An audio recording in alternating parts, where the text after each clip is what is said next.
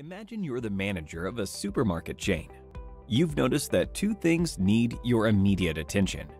The first issue is how to handle the different kinds of waste that you encounter at your supermarket.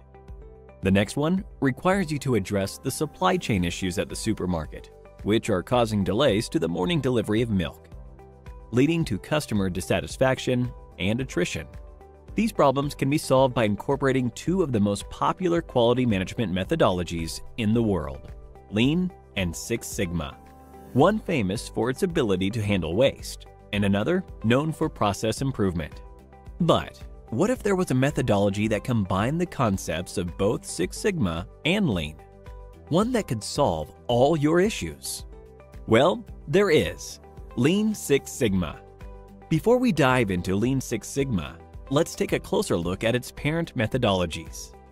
First off, Lean is a methodology that focuses on providing value to the customer, eliminating waste, continuous improvement, reducing cycle time. Lean and Six Sigma both aim to handle waste.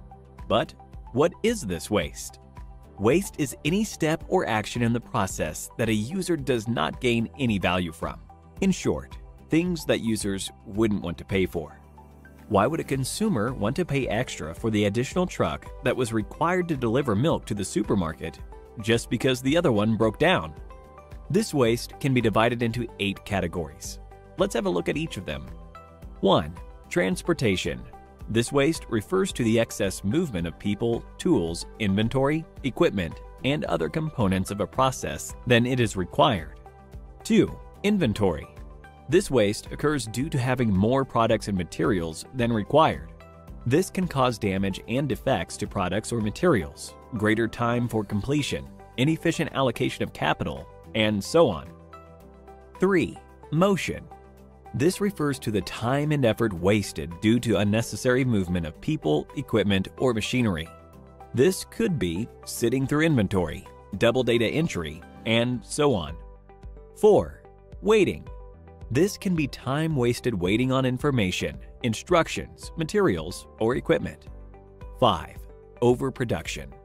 This is the waste created due to producing more products than required.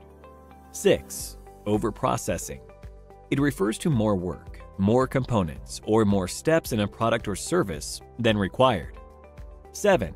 Defects. This is the waste originating from a product or service that fails to meet customer expectations. 8.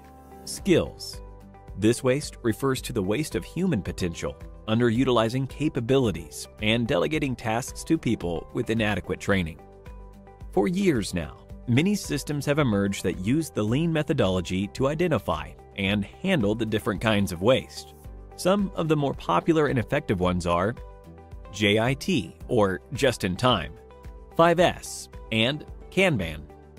The JIT methodology focuses on reducing the amount of time the production system takes to provide an output, and the response time from suppliers to customers.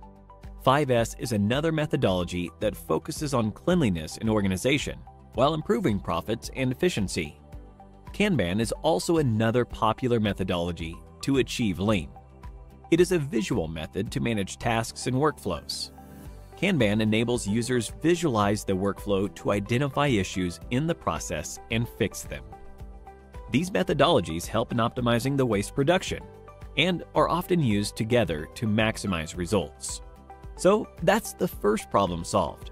Now, let's have a look at how you can improve the supermarket supply chain efficiency. For that, let's have a look at the other part of Lean Six Sigma, Six Sigma. Six Sigma is a set of tools and techniques that are used for process improvement and removing defects. Let's see how Six Sigma makes that possible. Six Sigma has two major methodologies, DMAIC and DMADV. You can learn more about these two methodologies by checking out our Six Sigma in 9 minutes video by clicking on the top right corner. Let's have a closer look at DMAIC since Lean Six Sigma uses the DMAIC methodology of Six Sigma. DMAIC is an acronym for Define, Measure, Analyze, Improve, Control. It is used to improve existing products and processes so that it can meet the customer's requirements. In the define phase, you determine what the goals of the project are. In this case, you want to reduce the amount of time taken to deliver milk from the warehouse to the supermarket so that it is stocked on the supermarket shelves before 8:30 in the morning. In the measure phase, you measure the performance of the current unaltered process. The milk truck leaves at 7:30 a.m. in the morning and can take one of three routes A, B, and C. Route A is currently the preferred one as it takes only 60 minutes to reach the supermarket, compared to the routes B and C, which take 70 and 80 minutes respectively. In the analyze phase, you find out why the defects exist. Since routes B and C were school bus routes, by reducing the starting time by one hour at 6.30 instead of 7.30 meant avoiding the traffic. Routes B and C now take 40 to 45 minutes to reach the supermarket. Route A still takes the milk truck one hour to get to the supermarket, even when the truck leaves at 6.30 a.m.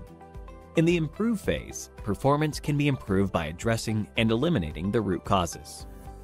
Now that you've realized that advancing the milk pickup by an hour and changing the route to Route B can save time, you change the process accordingly, providing your workers with ample time to stock the milk into the shelves before the morning rush.